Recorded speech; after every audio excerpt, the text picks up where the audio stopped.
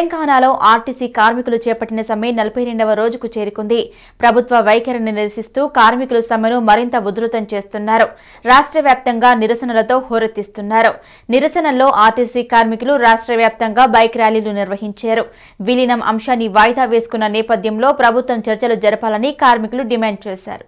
RTC కార్మికుల నిరవధిక సమ్మె నలభై రెండవ రోజుకు చేరుకుంది. మెదక్ పట్టణంలోని రామ్దాస్ చౌరస్తాలో కార్మికులు నల్ల బ్యాడ్జీలతో ఒంటికాలుపై నిలబడి మౌన ప్రదర్శన చేస్తూ నిరసన వ్యక్తం చేశారు. అనంతరం వారు మాట్లాడుతూ రెండు నెలల నుంచి సమ్మె చేస్తున్న ప్రభుత్వం మాత్రం నిరంకుశంగా వ్యవహరిస్తుందన్నారు. హైకోర్టు వేతనాలు ఇవ్వాలని చెప్పినా ప్రభుత్వం మాత్రం కనీసం స్పందించకపోవడం దారుణమన్నారు. కార్మికుల ఉసురు పోసుకుంటున్న ఏ ప్రభుత్వమైనా పతనం ఖాయమని మండిపడ్డారు. ఇప్పటికైనా సీఎం కేసీఆర్ మొండితనం వీడి తమ సమస్యల పరిష్కరించాలని కార్మికులు కోరుతున్నారు.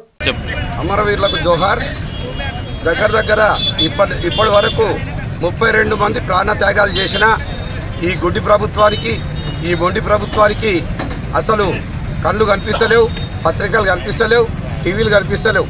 ఒకటి చెప్తున్నాం ఇరవై ఆరు డిమాండ్లల్లో ఇవాళ మా రాష్ట్ర జేఏసీ నాయకులు అశ్వత్థామరెడ్డి గారు ప్రభుత్వ ప్రభుత్వం ప్రభుత్వంలో విలీనం చేయండి అనే డిమాండ్ను వాయిదా వేస్తున్నారు. ఇప్పటికైనా ప్రభుత్వం దిగి వచ్చి కార్మికులతో చర్చలు జరపాలి. చర్చలు జరిపితే ఏదో ఒక పరిష్కారం లభిస్తుంది. చర్చలు జరపకుండా మొండిగా వ్యవహరిస్తూ పోతే ఇంకా సమ్మె ఉద్ధృతం చేస్తాం. దయచేసి అందరి ప్రాణత్యాగాలకైనా చెల్లించండి మీరు. మా ఈ న్యాయమైన డిబేట్లు గొంతమ్మ కోరికలు కాదు. ఒక డిమాండ్ మా అశ్వత్థామారెడ్డి గారు జేఏసీ ఆధ్వర్యంలో ఒక డిమాండ్ తీసేసారు మిగతా ఇరవై ఐదు డిమాండ్ల మీద మీరు చర్చించకపోతే పెద్ద ఎత్తున ఇంకా ఉద్యమాన్ని ఉధృతం చేస్తాం. అయితే రోడ్లు దిగ్బంధిస్తాం ఇంకేదైనా పెద్ద పెద్ద కార్యక్రమాలు చేస్తామని తెలియజేస్తూ దయచేసి ఇప్పటికైనా ప్రజల్ని కార్మికుల్ని అందరినీ ఆలోచించి ప్రభుత్వం ఒక నిర్ణయం తీసుకోవాల్సిందిగా కోరుతున్నాం.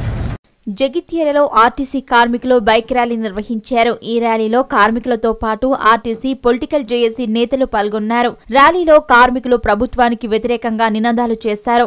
వీలిన అంశాన్ని పక్కన పెట్టినందుకు కార్మిక సంఘ నాయకులతో వెంటనే చర్చ జరపాలని వారు డిమాండ్ చేశారు. జగిత్యాల డిపోకు చెందిన ఆర్టీసీ కార్మికులు డ్రైవర్ కండక్టర్లు మహిళా కండక్టర్లు మెకానిక్లు గ్రామాల్లో బైక్ ర్యాలీగా బయలుదేరి జగిత్యాల తిప్పనపేట శంకులపల్లి కండ్లపల్లి హుస్నాబాద్ గ్రామాల మీదుగా జగిత్యాల డిపోకు చేరుకున్నారు. అనంతరం జగిత్యాల బస్ డిపో ముందు ఆర్టీసీ కార్మికులు ధర్నా నిర్వహించారు. ప్రభుత్వం నిరంకుశ వైఖరి వీడి వెంటనే తమ డిమాండ్లను పరిష్కరించాలని కోరారు. రెండో రోజు జేసీ పిలుపు మేరకు ప్రతి పల్లె పల్లెకు బస్సు కావాలని మాది. ఎందుకంటే పల్లె పల్లెకు బస్సు ఎందుకంటే ప్రైవేటీకరణ చేయొద్దు. ప్రైవేటీకరణ చేస్తే పాసులు అనేటివి ఉండే పిల్లలకు కానీ విలా వికలాంగులకు కానీ యువలకైనా పాసులు అనేటివి ఉండే ప్రైవేటీకరణ చేస్తే ఆర్టీసీ బస్సులు ఉండాలని బాగా కాపాడదామని గుర్తుగా చెప్తున్నాను. Thank you